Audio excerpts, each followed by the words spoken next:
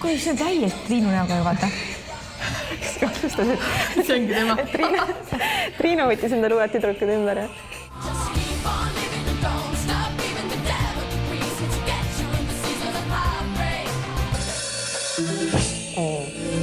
oo jee. vihane. ossa. Wow. All the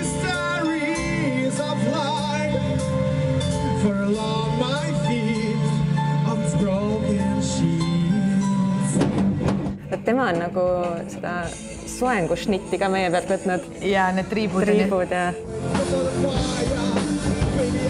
ossa oleks, vau. ühesõnaga päris vihased. muidu, kas nad kontserditel ka esitasid seda?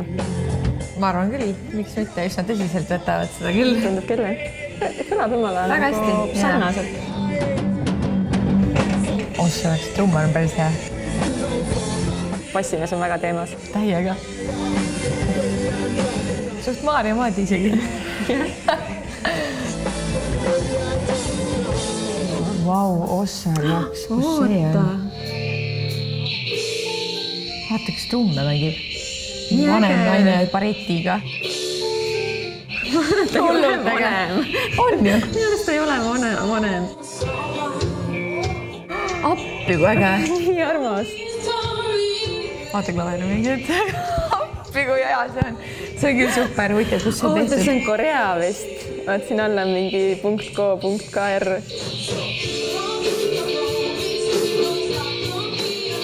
väga rahvas ei ela üldse kaasa. eriti ei ela ja ja lasershow ka. klaverimängija on hästi niisugune. see on niisugune nagu ontlik versioon võrreldes selle eelmisega. muusikakoolis nagu. ja, ja, nii kahju, et me, näed, Koreas meid teatakse või noh, vähemalt viis inimest teavad, kahju, et me sinna ei sattunud kunagi. kahju jah. ja see on päris tore siin. tõesti mulle see trummar eriti meeldib. mulle meeldivad kõik. mulle meeldib see laser ka, mis nagu niimoodi. aga seal, kusjuures mul keegi rääkis, kas Jaapanis või Koreas kuskil, et seal inimesed ei pidanudki rokkima, et pidi olema hästi nagu niimoodi. aga ikkagi neile meeldib. Neile meeldib ma arvan, neile meeldib. kõik on teie ainult enough'i või, mis värk sellega on? Tattoo'd uh,. Wow. kas su taust on?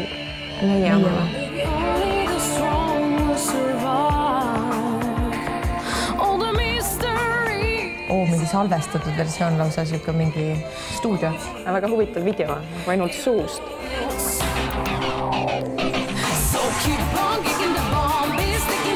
Päris hea hääl on tal.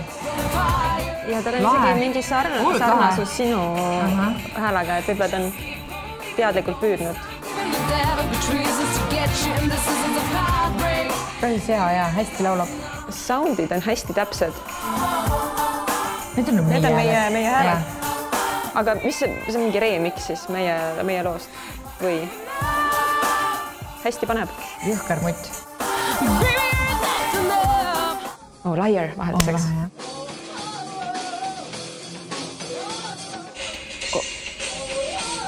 ossa.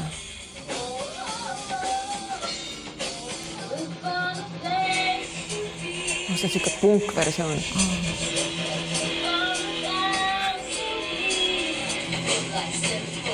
huvitav, kas see on nende esimene läbimäng või? väga huvitav.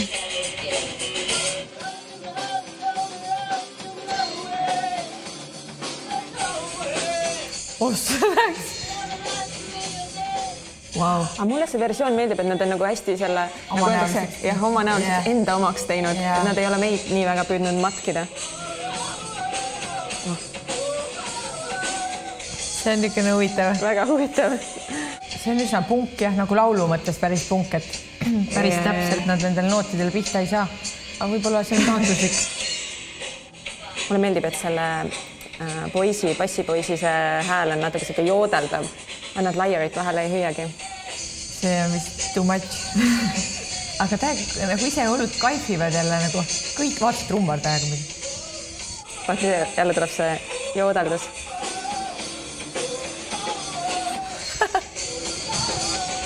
see, et täiega kummitamise tema see viis uh. -huh. Oh. väike möire oi. oh lahe juba, mulle meeldib, mulle ka meeldib, see roos on hea siin, see on jälle sihuke väga heavy, väga hevi, leegid, leegid, põlev roos. Aa, Triinu laulab. searching for it.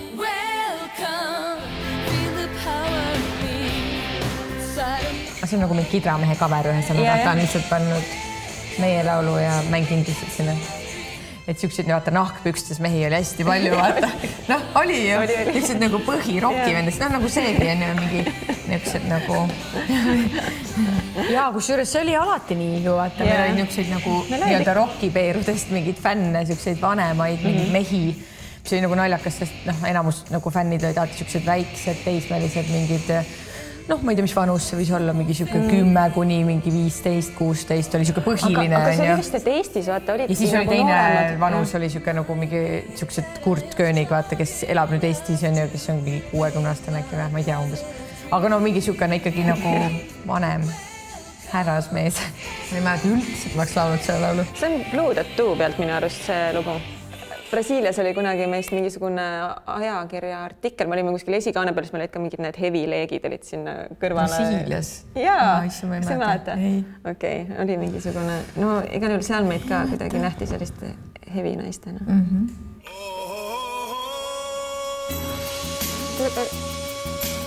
aa, okei, okei, see on suht vana versioon, Meie mees. What's up? Come on, it's Friday evening.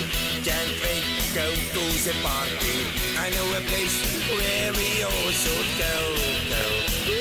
noh, see on nagu põhimõtteliselt nagu meie versioon, ainult mingi mees laulab naljaka häälega ja naljaka aktsendiga. ja noh, meie mees ongi selline niisugune natuke naljabänd olnud, et siis see on niisugune naljaversioon vehkisime seal kuidagi siia ja ja sinna. hullult tegime trenni ja ei, meil oli, oota, kes see oli, Ellar Bergmann või, ma siiamaani mäletan. Ma ei mäleta. ei mäleta? kes ta oli? tema tegi meile selle liigutuse. kas meil ei teinud Palestrast keegi väike tantsutüdruk neid liigutusi või? ei, aga selle kung fu osa vaata tuli ju ikkagi see spets ja, ja, ja, ja. Ellar Bergmann Okei, okay,, kes on okei. nagu ongi mingi kung fu Õige, nagu õige, õige. Eestis on nii-öelda minu arust kõige noh, tuntum selline, kes teeb ja siis just Sven kutsus, et ikkagi me ei teeks mingi suvalisi, mingi et enam-vähem, siis vaata see lastud vahes. see oli mingi see, et jalg oli siin ja siis käed olid nii vaata. mäletad? Ei, ma mäletan Neid mingeid neid asendeid, et me võtaks nagu õigeid, siis Jaa. see Ellar Bergmann. no ilmselt see oligi nii, et vaata natuke oli tantsulist osa ja Jaa. siis oli nagu veits nagu kokku miksitud nagu päris kung fu mingite elementidega, noh sihuke. see tants võttis tegelikult täiega võhmale, ma mäletan. ja, ja me harjutasime hullult seda mingi jooksmist seal ja siis samal ajal laulmist ja hüppamist. ega see ei olnud, see ei olnud kerge ülesanne. ma mäletan selle eurolaul, mis oli kõige sürrim, et hästi tõsiselt võeti, hästi tõsiselt võeti No Sven ja kõik kogu aeg peab harjutama hästi palju. me harjutasimegi ja hästi palju harjutasime ja, ja. Don't you realize, don't you understand? Time mis laul see on? is the bitter. Don't you realize? oo, super. see on niisugune lo-fi. You'll never get a second chance. I'm so fed up with fairy tales. The message is clear. ta on väga kelmikas. oma printsessi krooniga. on jah? see oli väike vint. Don't you realize? ja see on, see on jah, täpselt see, et a la koristad kodus ja kuulad mingit mussi, mis sulle meeldib ja mitte niimoodi ainult. printsessi krooni mul ka tavaliselt ei ole ei peas. ole jah. ma arvan, et ta tegi mingeid koolitöid või midagi siukest ja siis ta vahepeal ei ja ta viitsinud. tundub nagu suht väsinud on nagu ka. et No nagu muidugi. pool ööd oleks juba nagu mingeid erinevaid lugusid teinud, et ta on jah.